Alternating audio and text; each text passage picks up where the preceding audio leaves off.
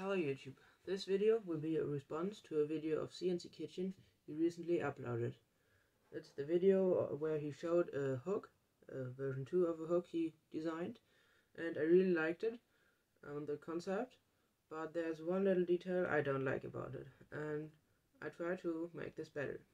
Let's go. The thing I don't like about his design is that you need a printer that is able to print two materials at once. Most people including me, don't have a printer like this. So I will design a version of it that you can print in two parts. And yeah, let's go.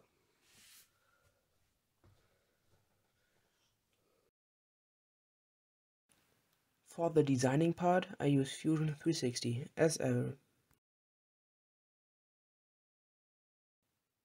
So, my goal was to make two parts, one from PLA and one from TPU, that snaps together perfectly, without gluing or anything. Both parts shouldn't fall apart by accident, but if you want to, they should.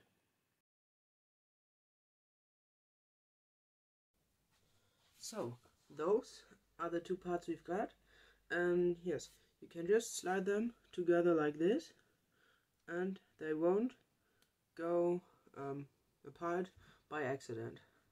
Yes. So, as you can see, it works perfect and it won't fall off.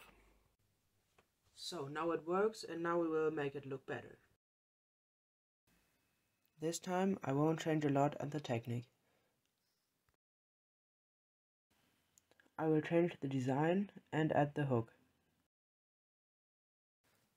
I made the TPU part thinner and for more strength the PLA part thicker.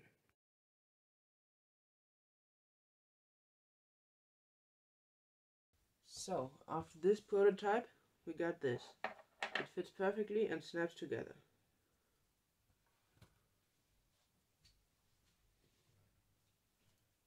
So, I hope you liked this video and got inspired. Cheers.